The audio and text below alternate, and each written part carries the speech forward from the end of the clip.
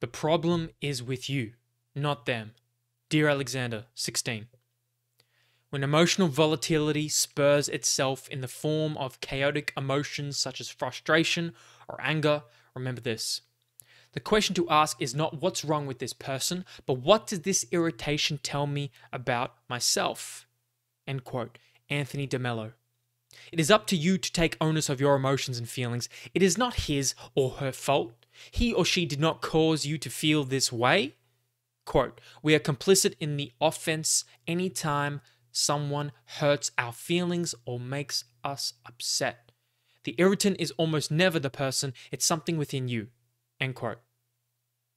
Remember, to blame others is to foist responsibility onto another and give the power and autonomy of your life away.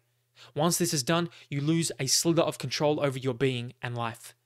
Day by day, this slither grows and eventually turns into a waterfall of emotion that consumes people. But that won't be you. Your life is too important to grant others control over it.